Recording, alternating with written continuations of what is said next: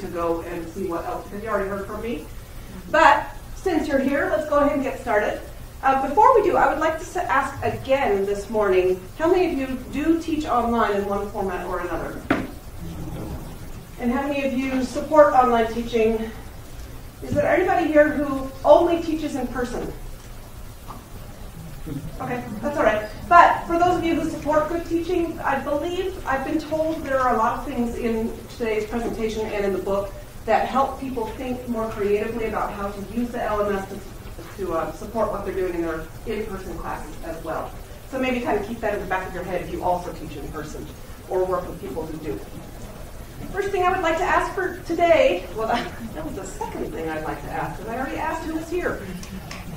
I'd like you to take a minute and think to yourself one really big sort of aha moment or takeaway from yesterday, from all the sessions that you went to yesterday. Would you take a moment and think if you're a note taking kind of a person, feel free to jot that down um, or just think it.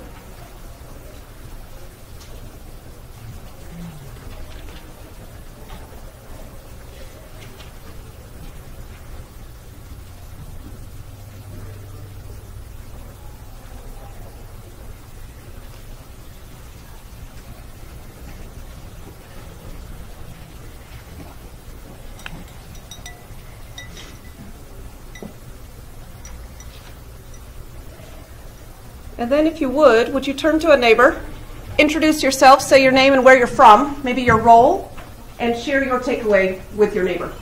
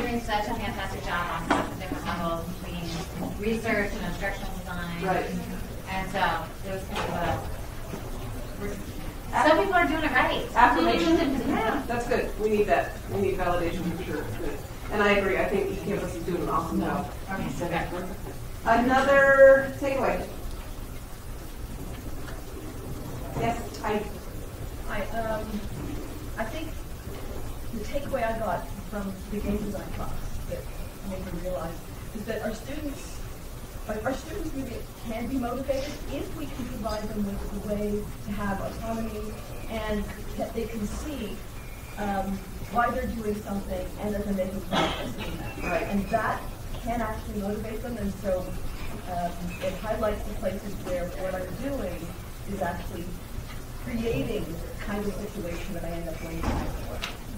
So, and so, it, it, so it then it, it then sit- it makes me sit there and say, so how can I redesign the class so that I can give them the greater sense of autonomy, the greater the, the understanding that they're making progress slowly rather than being confused. so maybe we have some responsibility for our students' lack of engagement. And again, I think all we have to do with what you just described in terms of seeing the value and the relevance of the thing and seeing that we are making progress, we just think about ourselves. And that applies to ourselves as, as well, right? You never get a task at work that you're like, this is stupid, nothing's ever going to come of this. I don't about you, but that's happened to me sometimes. So, just, just so I do think that helping our, um, putting ourselves in our students' shoes and experiencing, and then thinking carefully about the conditions that we create. There's a very new um, book, a recent book called The Missing Course that came out, and I really love this um, author's approach about we we can't make anybody learn, we can't make anybody do the things, but what we can do is to create the conditions that in which they can engage and learn. And I think what you just identified is sometimes unintentionally we create conditions that kind of hinder their learning. Yeah, that's great. One more, one more takeaway. I saw, I saw a movement. I'm scratching my forehead. Like a hawk. I've, I've done that in my classes. Oh, you moved. But no, I was, um, I, I think all the presentations, I, I learned something from all of them. Yeah. But I think the one that I really enjoyed sometimes, if we forget, is part of the thinking that you were saying, like how we need to be a part and remember that they're humans, like you were saying, like they're actual but also let them know that we are too and participating in the online discussions that we create for them, Yeah. either by commenting ourselves or by rounding up and elaborating on what they said. I think is key, and sometimes even the face-to-face ones, is where they, because I do a lot of face-to-face teaching as well. Sometimes we have Oh, yeah, let's not do that. follows outside of the class. Right. Sometimes we forget to bring it back to the classroom and say, hey, I read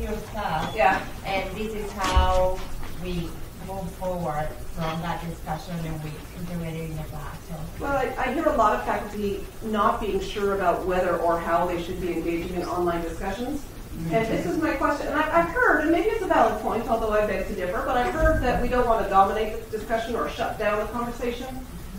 It- Rather, for me, I view it as when you're teaching in person, or let's just say in this session, did I throw out a question and then walk out of the room? And let you all talk amongst yourselves, or do you do that when you're teaching in person? No. You do in person what I'm doing right now, which is to comment on your answers and to recognize the validity of them and maybe to elaborate a little bit, maybe ask some additional questions. You can do that in your online discussions too, and in fact, for me, that's, I would say, where all of my teaching happens, actually, is in that online facilitation. So there were a couple of other people back here who, who were just about, did you want to contribute as well? Somebody over here. Yeah, I was just, I'm gonna, um, talk about what he said. Yes. It's a really simple, small tip, but that when you provide feedback, provide it for the next thing that students are gonna do, rather than have this be this finite thing of like, okay, well, they're done. Right. Um, but make it useful, um, for you know, Yes. students going forward. Absolutely. So it's Good. an opportunity to, and you're not like looking to kind of justify a grade, but rather thinking forward. Maybe developmental, Yeah. right, helping students know what they can do better for the next thing. I think especially if we grade a lot of essays for English teachers, can get into the kind of cloud of grading and, and forget like, in the midst of that, what exactly are you setting up do here, what's going to be useful. So Right. Just like that reminder. Yeah, I, um, my background is also actually in teaching English. I've done that for about 22 years and um, got a little tired of grading. but definitely that idea, and maybe even also using rubrics, you know, that idea of helping students know what they can improve on for the next time. In fact, I actually had a, a, a conversation with my daughter, And I actually put this in the book and I changed it to my niece because I didn't want my daughter's high school English teacher to know. I had a conversation with my daughter about a year or so ago and she said, how long does it take you to grade a paper? Because I am an English teacher. And, and I said, well, it kind of depends, you know, the length, the, how much in depth. And I, and finally I was like, she doesn't care. I was like, oh, about 20 minutes. And, um, and she's like, oh, wow. And I was like, why do you ask? And she said, because I've never gotten an English paper back from my teacher ever. The whole year. They never got any grades or feedback. And um, it shocked me, just like it did all of you. Like, how is how's somebody going to know how what they're supposed to be doing better? And I asked her that. How do you know what you should be doing better? And she's like, yeah, I don't know. so, just a good reminder that um, taking that time to help students know, and, and when we don't do that, or don't give timely feedback, or any feedback, um, that's really not serving our students well. Okay, well, I could have this conversation for the whole hour, but I suspect this is probably not why you came. So let's um, jump in, because what I have here for you today is four categories of things that I think are pretty important and kind of unique for online classes. Again, not entirely, but kind of key issues for online classes. And then in each category, I have two specific practical strategies. If you're teaching online right now, you can use them today. Some of them you might want to plan and use for the next term or the next semester. But these are super duper straightforward, tiny little things that you can do that make an impact. So let's jump into that. Um, before we do, to yourself this time, not talking to a neighbor, one word that describes how you feel about online teaching.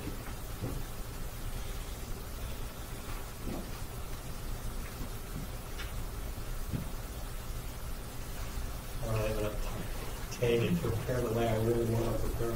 Okay, so uh, your word might be uh, time pressure, something like that?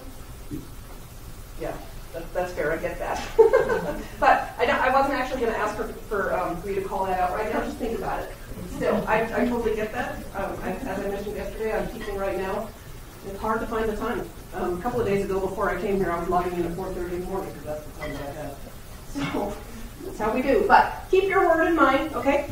And again, if you were in my talk yesterday, um, we did talk to a fair extent about the challenges about online teaching and learning, so I'm not really going to go into that, but I do think it's important to just acknowledge that it's not easy. It's, um, there are challenges, there are barriers for both faculty and for students.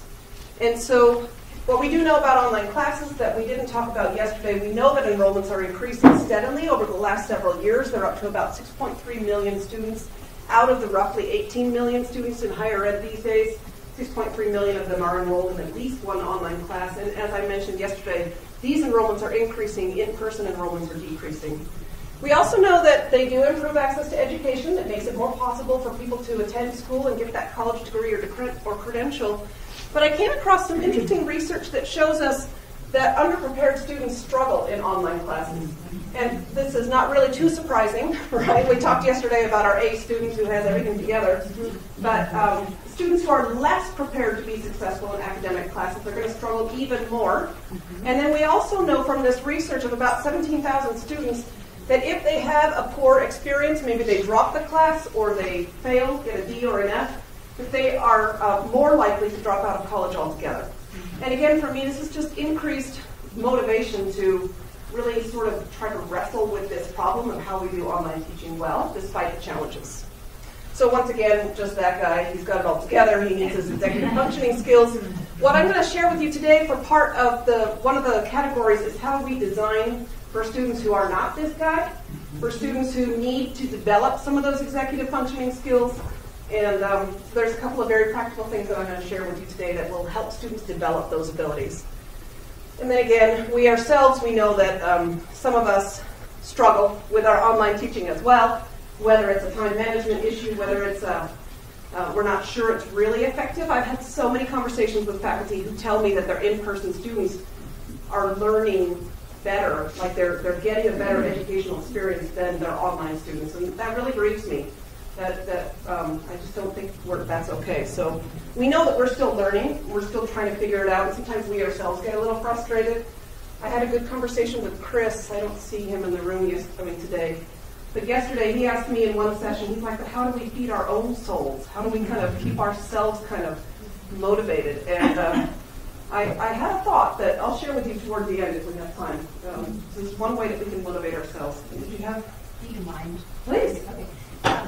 About the instructors who feel that they're on in campus, uh, in, in person classes, the students are learning better than online. Is that just a is that just a feeling, or are there data to actually support that? Because that's how students feel about lectures versus active learning. Right. And we know the data say just the opposite. I don't know on those individual faculty that they compared their Okay, learning yeah. outcomes, but I do know that that is not right as shown by the research. Oh, There was a meta-analysis in 2014 of hundreds of different studies of comparing online learning outcomes versus in-person. And in fact, online and blended learning outcomes, well, blended is best, online is better, and in-person is what it is, which is not always perfect either. Right? But I just hear from a lot of uh, faculty, anecdotally or experientially, that Right. That they don't, and I think what it comes down to is they just don't know how to teach. You know, this one person I'm thinking of was telling me kind of what he does, and I was like, yeah, that's not how I teach. Which is, I mean, we're all learning, we're all trying to figure it out, you know. But um, I do think again that we we understand there's a need here and a challenge. We spent a lot of time yesterday talking about why we think this is important, so this is just kind of a reminder that we do think it's important. It's, for me, it truly is a social justice issue. There's just no question in my mind that this work is really important, as I said ad nauseum yesterday. So, the question is how? How do we do it? And this is the goal of today. Yesterday I did deliberately try to paint a really big picture of and, and pull at your heartstrings a little bit because my heartstrings get pulled sometimes and I think that's okay. But let's look at the practical strategies. And one of the reasons that I wanted to hear from you about your takeaways yesterday is what were some of the practical things that you heard about that help motivate ourselves and help motivate our students. And I think we did hear about reminding ourselves that um, there might be things that we can do regarding the structure of the class that help our students be more successful. Um, there might be things that we need to get from our students to help motivate ourselves when we're kind of feeling the slump. Um, so I'm tempted to give you another minute right now with your partner to just sort of talk about some of the hows that you may have experienced or maybe that you do in your own classes. Would you like to do that? Yes. so share with each other, talk a little bit about some, some of the hows that you're that you've seen, that you've learned that you're doing to improve the online class experience. And then as I did a minute ago, I'll ask for um, people to share with. Just a couple of minutes.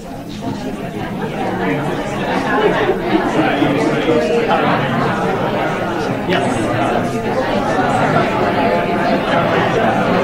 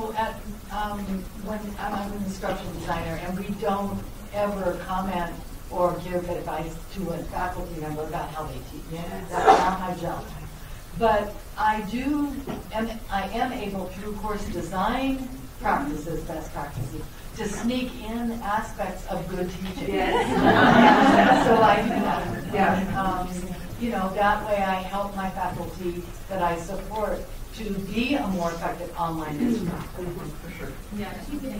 Okay, ready? Really quick, let me comment on that, because I, I know that traditionally IDs don't have a role in teaching faculty how to teach online. However, I do think one hundred percent we're probably the person who is best positioned to do that, whether it's through effective design strategies or whether it's through the conversation that you're having with them. I've, I've had some faculty come to me who are super hungry and they're just all ears, and others who maybe not be quite so much, but if you're in, if you're working with them, um, having conversation and back and forth with them, I think there's a lot of opportunities, and I absolutely would encourage all IDs to take those chances or those opportunities, I should say. Thank you, Yeah. Amy. Okay, so I also work at Oregon State, and um, we have a new facility called the Faculty Media Center. And what I heard a lot yesterday was connectedness. Whether you're in a big lecture, face-to-face lecture hall, or whether it's online, keeping those connections know, discussion groups. So what we have is that people can just come in and record these really short, you know, those little welcome video, hey, or the little interventions, you know, we, hey, I'm really struggling with this, I know it's not explained it correctly, or maybe you didn't understand the directions. It's just those just-in-time communication where you intervene before the- everybody turn or whatever. And I think that it, it's a good point. I think it's nice to do that by video or even audio when we can because we can communicate so much through our vocal intonations and our facial expressions as well. And I think it's wonderful that you guys have a studio and, and a lot of places don't. So, phone, the phone, this is, this is the International Civil War. I'm a big fan of just those very quick little casual, and I've seen some really uh, great people in the California community college system who are, they'll be at a cultural event and they'll be like, hey, look at me, look, students, isn't this awesome? And they'll just like right where they are, wherever. So it's a great way to bring that personal element. Just touching on the other thing that you just said, where we can clarify misunderstandings um, and, and prevent the train wreck before it happens, hugely important. And that means that we're paying attention to our students' cues. You know, again, one of the challenges is that when we're here in the room together, I can kind of see if I've lost you. I can see if everybody's getting bored and tuned out. Um, we can't see that. We can't see the confusion on our students. But there are cues in our online classes that we can tell if everybody is asking the same question or making the same mistake. And then we do want to intervene, and it doesn't have to take long. It can be a, a minute or two quick text or recorded annou- announcement to clarify that. Uh, voice is especially important in those uh, follow-ups because uh, it's easy for students to assume that you're upset with them when you're explaining it, and that you're kind of like, well, if you had read it the right way, you'd know. but you know, they, they can hear in your voice that you're, you know, just trying to explain it in a different way, and like, oh, I think maybe I miscommunicated something instead of, oh, well, maybe I wasn't clear enough. You know, It in, in writing, it, it. in writing, they read it the way they think you're saying. I, um, I learned about that from a colleague of mine at NAU who um, does record audio feedback for papers, and she just she was explaining to me how she does this, and I was like, well, yeah, no, that's so much more effective. Like she would just record, and she would say, I can see that you really worked hard on this paper, and I really do appreciate your effort that you put into it. However, you know, just try to kind of to bring that in. Yes. Um, speaking of the connectedness, something that we've been introducing at Boise State University is Flipgrid. I think some of you may have heard about it this morning as Anthony was preparing for his afternoon session. Um, and there's been many successes with our latest program in genetic counseling, where the students are practicing informal conversations as if they were speaking to a clinician or a client or patient.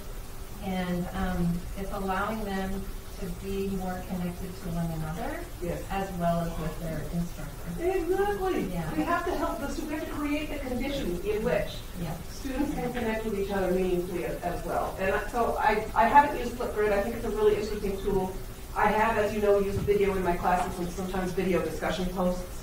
Similar, probably not quite as streamlined. And I have students in my classes saying, we've been in this program, about to have three different classes with that name, but now I see you and you're a person and I hear your voice.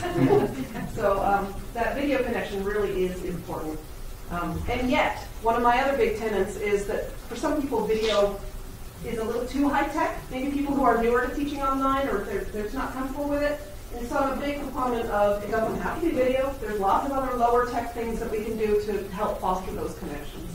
Just on that note of helping students connect with each other, I really like this idea that I came across recently called study buddies.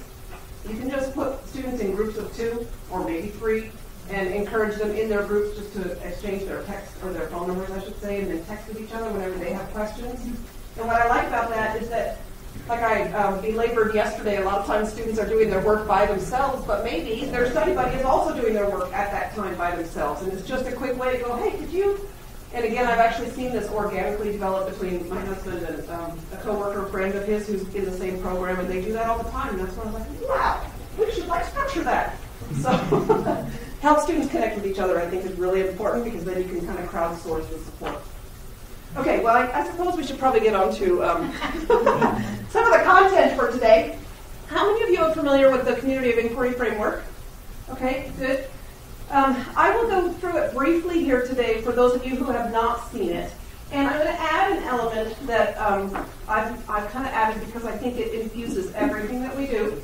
So the Community of Inquiry Framework is a really useful um, way to think about what we need to have effective online classes. This comes out of research conducted in the late 90s, um, and at that time it was called computer mediated learning or something like that. But it's basically what are the elements that are needed in order to produce deep learning in the center, because that's really the gist of a lot of faculty and administrator complaints. There's a lot of skepticism about whether online classes work, whether students can really learn.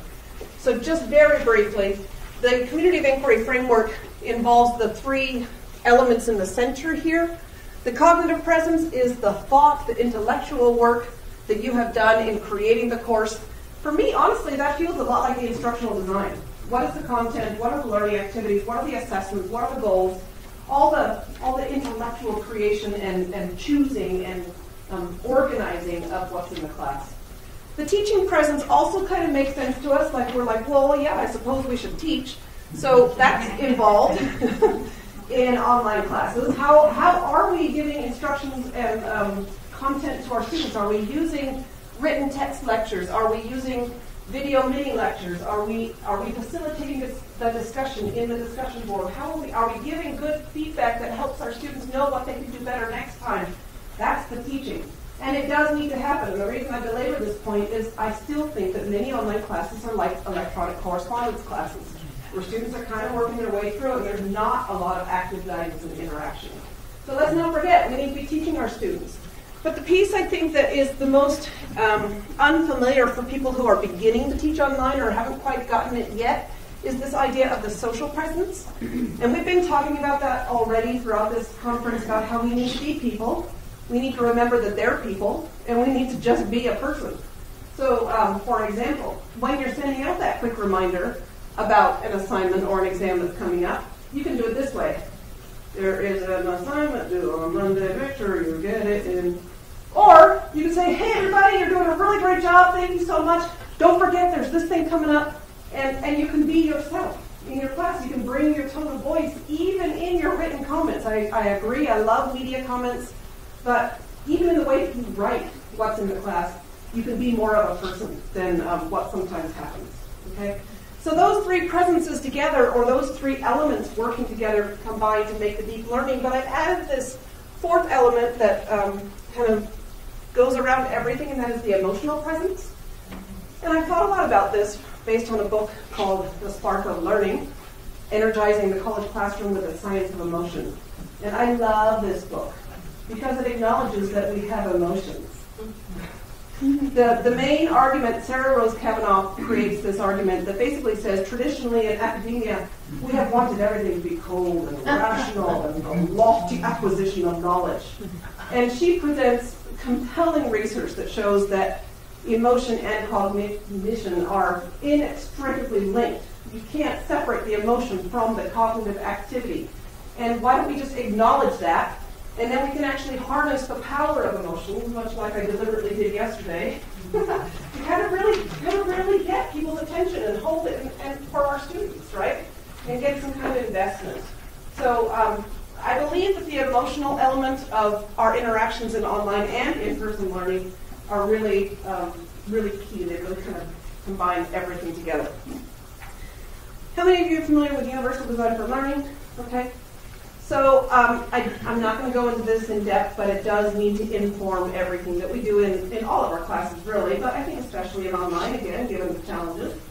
It's basically the idea that we want to make our materials accessible to all of our learners, and that um, when, when we make those supports available, they can help other people as well.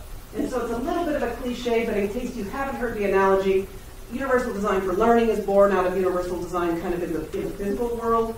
You think about a curb cut, and that may have been put into the sidewalks to help people who were perhaps in a, real, a wheelchair, but it also helps who else? Who does that help? People with strollers, people on bikes.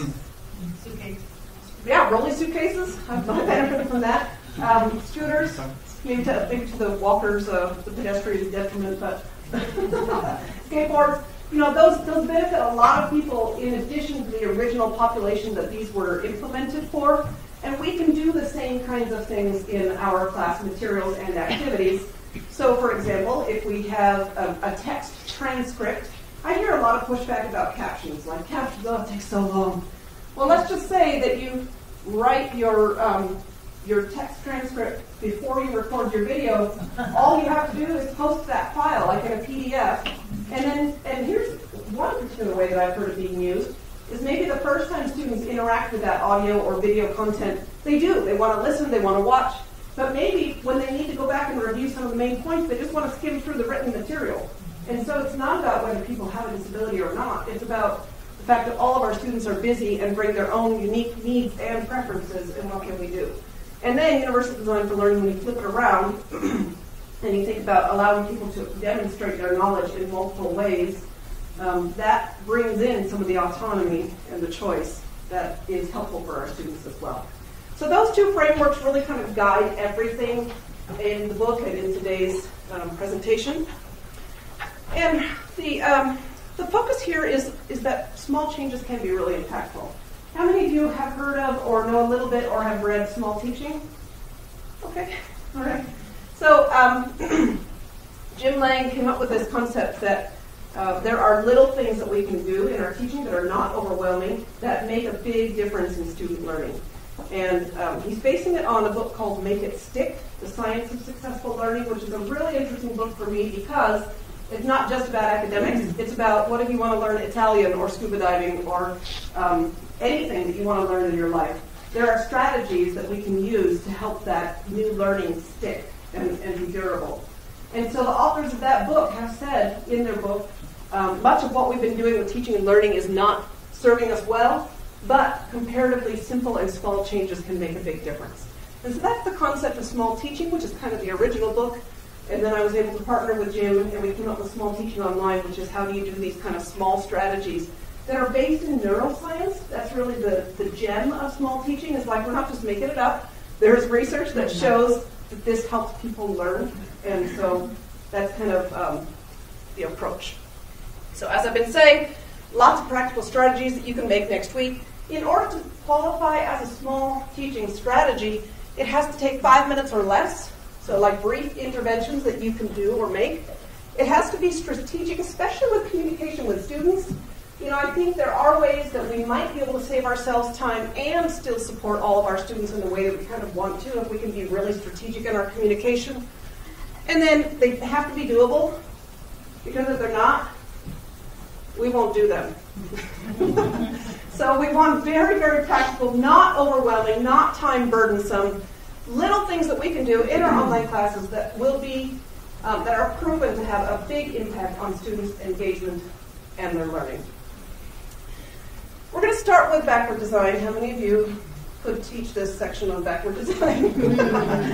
okay, but there's still a fair number of people who, who aren't super familiar with it, and so I want to share an, an analogy that has helped me in my work with our faculty. And that is to think about backward design in terms of a road journey. So let me think about this with you. Do you ever plan a road trip and not know where you're going?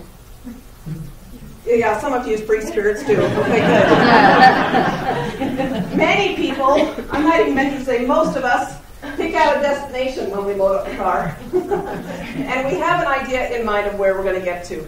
And that is what we do with our classes. Um, instructional designers like to call this setting your course learning objectives or your outcomes. But really, what it is is what are the goals? What do you want your students to know by the end of the class? What do you want them to be able to do? Where do you want your students to get to? So we, we want to think about this sort of the, the destination that we're getting to.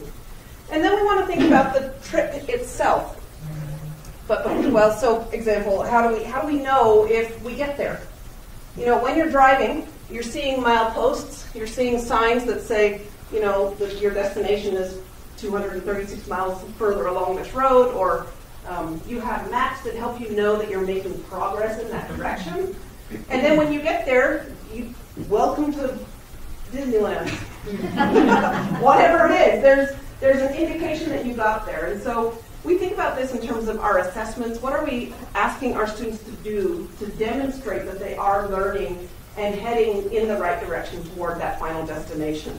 There are, um, when we get there, there are sort of the big assessments like final exams or final projects, presentations.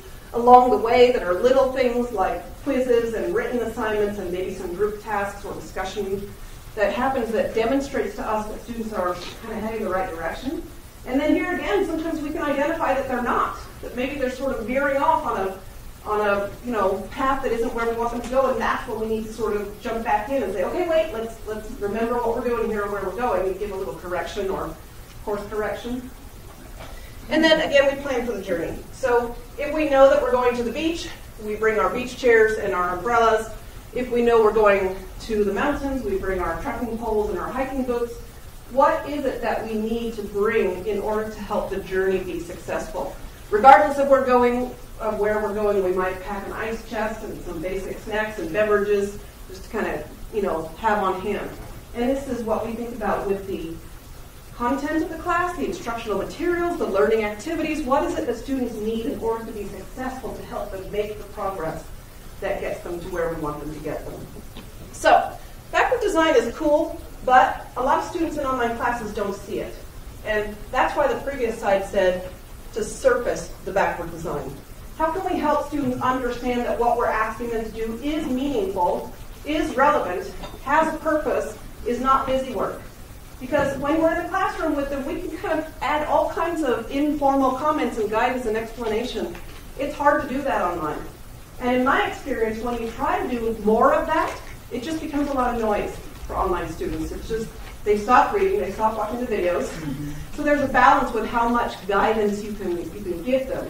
But still, I've taught classes where the students had no idea that there was a major research paper in week 10, and it was like week 9, and they were like, whoa, where did this come from? And I'm not kidding if Tim is still having that experience. My husband that I was talking about yesterday, he's still having that experience right now. He ends a class today, and a week and a half ago, he's like, I don't know what the final project is. Which, again, I don't think is really intentional. I just think that it's hard because there's a lot of written stuff, and, and sometimes the material just isn't there. So this strategy that you might want to try engages students with the final thing that they're going to have to do right in week one. And that just sort of makes them look at it, read it, figure it out, understand what's coming to help them prepare for that journey. So, for example, if you do have something like a final project or paper of some kind that will be due at the end of the class, one of my favorite strategies is to or ask students to maybe make a concept map in week one about some of the ideas that they're thinking about and how they might develop that. Or maybe fill in sort of a table like here's, here's one thing that I could do, or here's another, and here's some pros and cons. But just get them sort of brainstorming and thinking about what they might do for that final activity right up front so there are no surprises later. If your class is one in which there are more exams and those kinds of things, maybe it's just giving them quiz questions that will be similar to what will be on the exam so that they can begin to get practice and get fluent with those kinds of questions. So just get students thinking about and working on that big final activity right in the first week. Another idea that you can do to help students see the intentional design of your class is to ask them to reflect on your learning objectives. How many of you think that your students know what your learning objectives are? how many of you how many of you know what your learning objectives are and could tell me them right now? It's hard to keep track of those. A lot of times we write them and then we set them aside and we get on with, with the class. But again, when we help students understand that there's a purpose and that this is what they're going to be able to do as a result, it does engage them, it does motivate them. So, one of the things that I've seen done is to ask students in week one, as part of the orientation, kind of getting familiar with the class, read the course learning objectives, pick two, and write about them, or record a, a video or something about them. And you could structure that in any kind of way. You could say which two look the scariest to you, which two are the most interesting. Pick one interesting and one scary. What are you curious about? What right? And just it kind of structure a way for students to interact with the learning objectives to help them pay attention to them. Because my students just skim right past them otherwise. I don't know about yours. Mm-hmm. And sometimes I skim right past them too. Mm-hmm. So I wrote them and I set them aside. But when we think, when we get our students to interact with and respond to and reflect on, it brings it back to us as well, kind of gets it back on our radar. And you can do this in the beginning of the class. I also like to do it periodically throughout the class. So whether it's every module or maybe at kind of quarter and half points throughout the semester, just ask students to go back, maybe look at your module learning objectives if you have those. What are we doing this week that really catches your attention that you think is going to be super valuable for you in your academic and career goals? just get students working with those. Another way to do this is at the end of the module, now go back and look at the learning objectives and tell me what we did this week that helped you to get there. So any of those kinds of ways that you can get students reflecting on the objectives, it helps them see, again, what I really think of as the intentional design of the class and not that it's all just kind of, I don't know why I'm doing this, because that really does demotivate students if we're doing that. Okay, now we're going to talk about the science of emotion, as I mentioned earlier. Sarah Rose Cavanagh is the author of this book, The Spark of Learning, and it's a great book. I love it. Um, but specifically for online classes, she reminds us that there are knowledge emotions involving, including um, attention, memory, and motivation. How many of you feel that your students don't always aren't really attentive to what's happening in your online class? How many of you find that your students don't seem very motivated about what's happening in your online class? So there are ways that we can deliberately engage their um, emotional response to get their attention. And she, all you have to do is think about, as she reminds us, all you have to do is to think about where you were on 9/11. It's not hard to um, remember that, right? Because there's such a strong emotional response there. Now, ideally, we don't necessarily want to uh, provoke negative emotional responses with our students. But every once in a while, maybe we do, with with caution. Maybe um, maybe we're studying, you know, um, Middle Eastern strife, and maybe instead of reading a bunch of data about the interactions there, maybe we want to go ahead and post a picture of the refugee child with the really big eyes. Maybe we do. Sometimes maybe we do want to post a picture of the destruction of a natural disaster or whatever it might be, and kind of deliberately and carefully harness our emotional responses. And I say carefully because emotions are tricky and they can backfire on you. So again, for me, it's about intention. And there's a purpose for doing that. But it might be that you're going to go ahead and post a video, a moving song. There's all kinds of ways to kind of help people immerse themselves um, in what they're learning in a more sort of emotional kind of a way. So, one thing, one strategy here is to bring your own passion to help to create the atmosphere of a thriving online community. So I think that if some of us have been teaching online for a long time, the same kind of content, maybe we've kind of lost our own spark. I don't know if that's happened to anybody else. so we want to sort of remind ourselves why we think this is important I taught, um, before I was in the ID role, I was teaching English full-time, and I taught the same section of composition um, eight times, ten times a year. Yeah. I taught a 442. Some of you resonate with that. I got so sick of grading those research papers, and because they were bad. Despite my best efforts.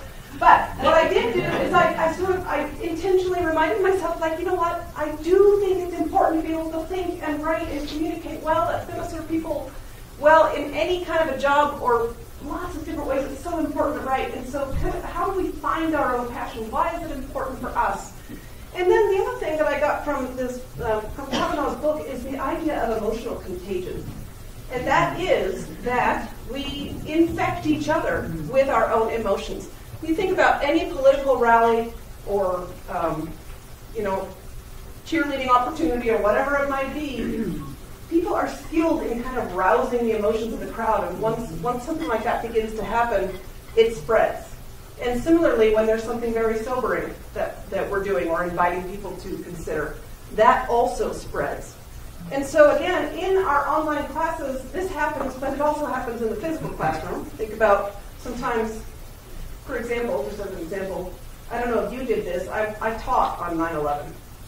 And I didn't quite know what I should do. And looking back, I wish I hadn't. Because everybody was pretty sober, right? Or more recent tragedies um, that we hear about. They really impact the climate of the room. And we can kind of imagine that in an in-person setting, but I guarantee you it happens online as well. I have taught students I've, where the group dynamic is so very different. Sometimes they're duds, sometimes they're super lively and really engaged. And um, I was in Jenny's session yesterday, and she was reminding us that we can create some of the enthusiasm and some of the momentum ourselves by the way that we interact with our students, by the way that we bring, show that passion, and kind of lead the way and deliberately work to infect our students with some enthusiasm and some motivation.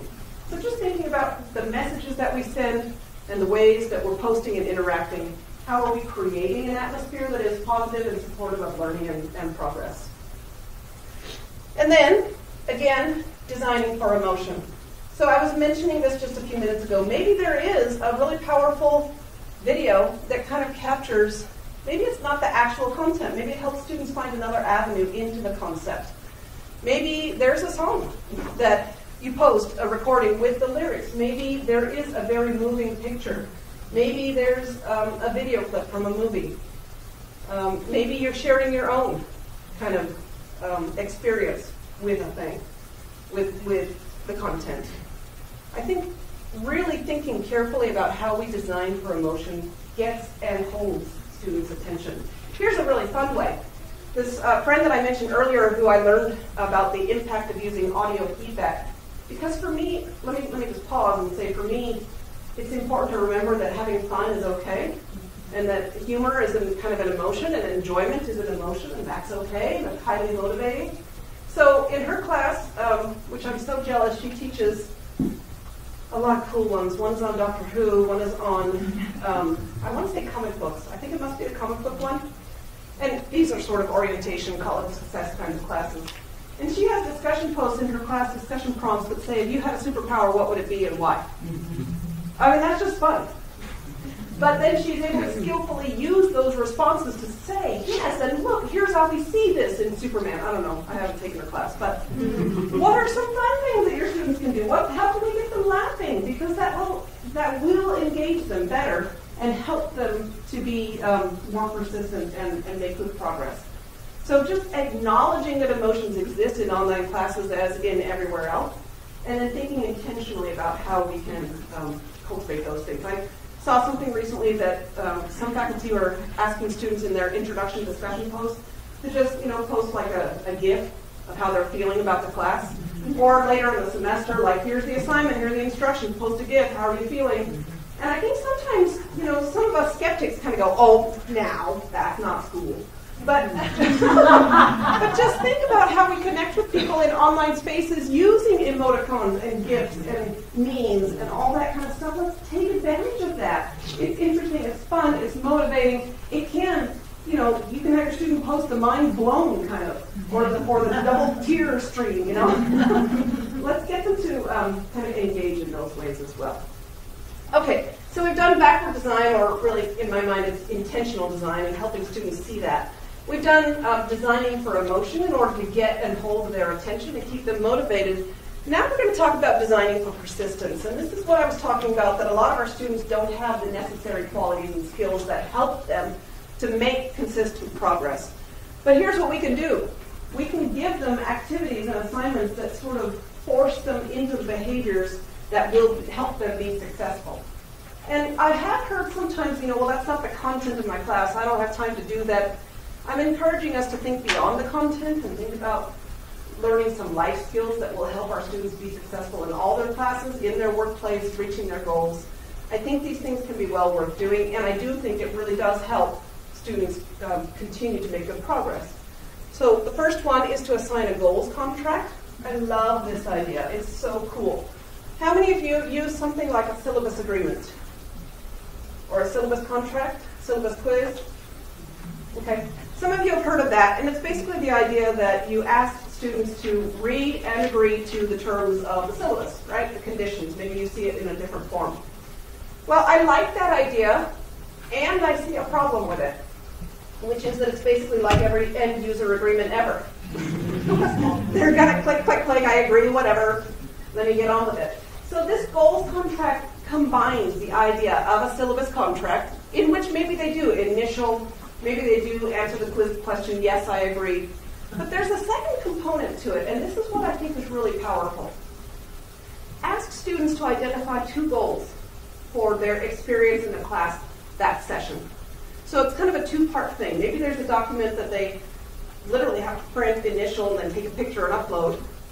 And then ask them to identify two goals, but also ask them to identify an action that they're going to take to help them reach those goals, a possible challenge that they anticipate that might hinder their process or their progress, and then one possible strategy to overcome that challenge.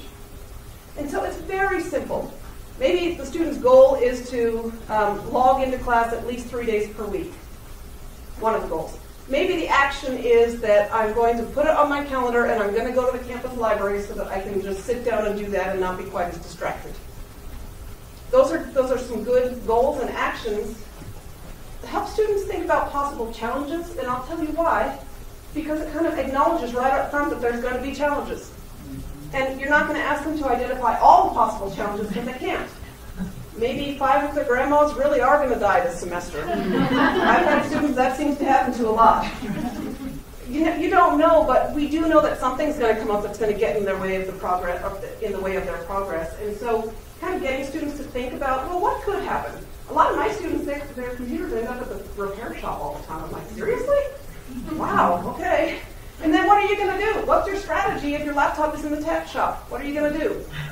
So just getting them to think and articulate um, what are my goals, and it's not all my goals, just a couple.